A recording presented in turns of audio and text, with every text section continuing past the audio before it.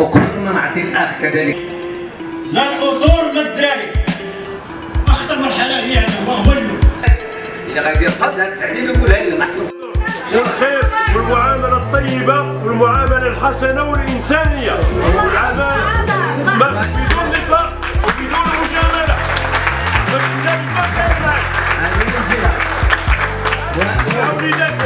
وأنا اعدكم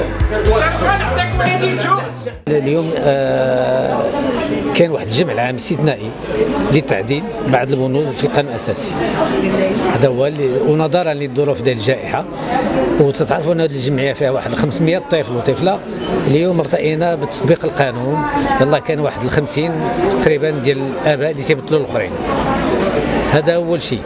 ثانيا البنود اللي بدلناها ضرورية تبدل.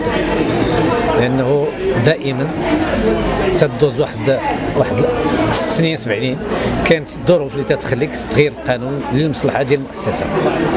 هذه من جهة. واليوم بغيت عبر الإعلام بغيت آه، نوصل واحد الكلمة للسيد المدير العام ديال التعاون الوطني تنقول له بكل آه، بكل بكل جرأة أنه ضرب الجمعية من اللور يعني دازوا المدراء جا هو في آخر المطاف وكان معنا في اللقاءات وما عمرنا قال لي غادي نحيد لكم ذاك الفائض اللي ديال خمس سنين. جا حتى الخضر وحيد لنا واحد ل 250 مليون وس- وسد. اذا هذا الشيء فاضل. حنا الجمعيات بحال هذا الشكل اللي عندها المنفعه العامة وعندها آه، منشطة في الأعمال خارج المغرب وعندها كذلك جائزة من أحسن الجمعيات في العالم العربي.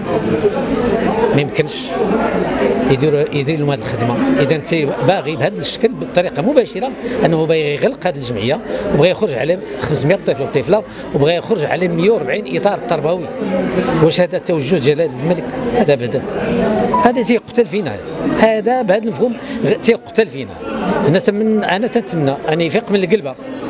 وعرف أنه اذا كان مدير تماك من أجل المصلحة العامة. خصو يحافظ على هاد الاولاد ويحافظ على هاد الجمعيات اللي هما أصلا قائمه الذات وكاينين. هذا هو اليوم اللي قلقنا وتتمنى كذلك من الحكومة اللي جاية واللي إحنا عندنا فيها آمل أنه ترجع الأمور لنا نسيبها هذا اذا. هذا هو اللي نقدر نقول اليوم. تنتمنى ونعاد نشوفكم في الساعة مباركة إن شاء الله. الرحمن